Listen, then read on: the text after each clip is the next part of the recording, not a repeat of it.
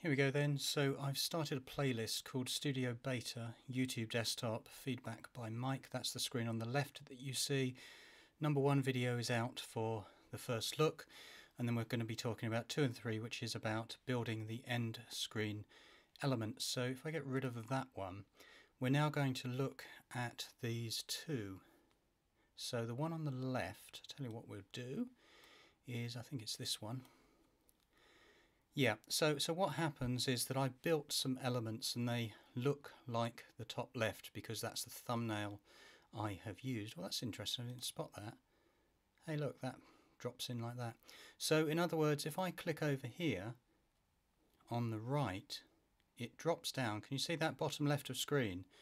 Expand, and then I've got four elements. So, what I've got, um, and I'll tell you what, Let's play a little bit to see what it actually looks like.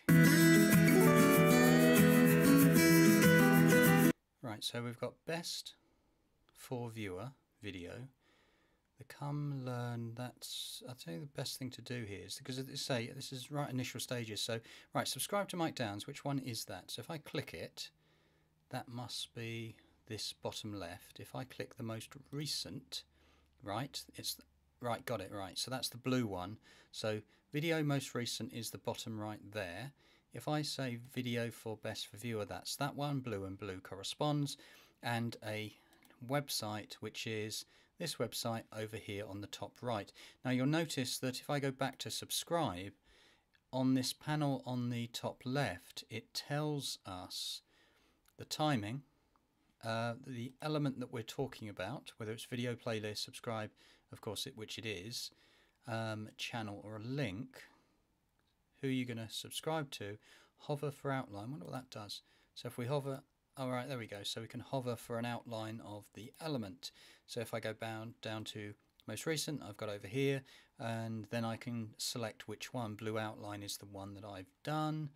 Next one down is best for viewer, similar thing on the top left, and website link, which is interesting because I had to build this. And so what that means is that if I go to the website, of course, and click the pencil, it allows me to get a very big box, but still I can have um, a URL there that you can only link to approved websites, hover card. Here we go, look, your associated website, merch, merch, and crowdfunding, which is similar. I know you can build these in classic YouTube um, dashboard, but of course this is the fun of new stuff. Now that was blank when I first did it, and uh, I had to hit that, and I wasn't really sure what was going on.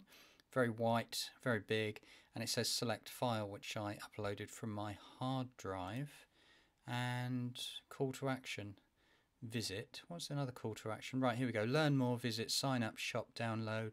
Download? order or buy. Okay, not entirely sure. That's, that's all right. When I say not entirely sure, I mean I'm learning, as you are, hopefully, over my shoulder. And we'll see. So this is the blank video, the one that I've uploaded. And what I've done this time is I've taken away these test cards. And all I've done is... Um, let's play a bit. I'll show you what I mean. I've done a slight pan with music from the start to the end. So let's play it.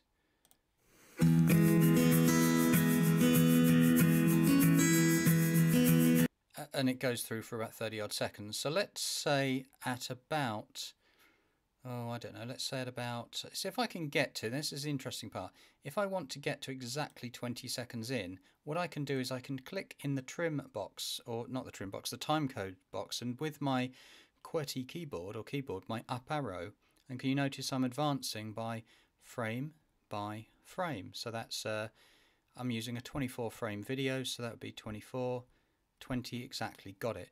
So then I need to go and I want to add an end screen element. Earlier on, by the way, when I clicked these three buttons and the down arrow, where my mouse is, um, bottom sort of left, nothing happened. So first of all, let's, let's go back. And the reason nothing happened is because nothing is added. So middle, bottom, add an end screen. There we go. So this is the bit that I really wanted to show people, and that is that we can add a blank end screen a video or playlist one subscribe. Now the maximum number of anything you can do with end screens is four. Is four. So that's why I topped out my last video. So we've got this one which is video or playlist one subscribe, We've got one over there. Which one should we do? Uh, let's do this one. Two videos or playlists, one subscribe. Then you apply it. Then what happens after you apply is it looks like that. So this is the brand new beta. What's that cross do? Okay. I say okay, I mean I don't really know what I'm doing. So I'll tell you what, I'm going to leave it there because I can start to build my elements and then start to save it and then it processes and it tells you that you've done things. So I'll tell you what, without anything in there, I wonder what it plays like. Let me just uh, play it a second. Yeah, it was good enough, isn't it? Now, the, the interesting thing is, is that uh, for me personally, I don't use end screens because I look at my audience retention. I think, what's the point? But then again, I could be tempted uh, to do it if it's so easy to do because I didn't find the other editor or the annotations thing in classic YouTube that easy. Maybe it's just me. Um, look at this. Slide.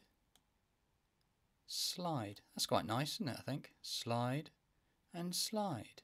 Slide. Sorry, I, am um, been watching too many of those annoying adverts. Right, let's end this and get it out the door. Happy Monday recorded 30th of July 2018, the Mike Downes page, 20 past 4 UK time.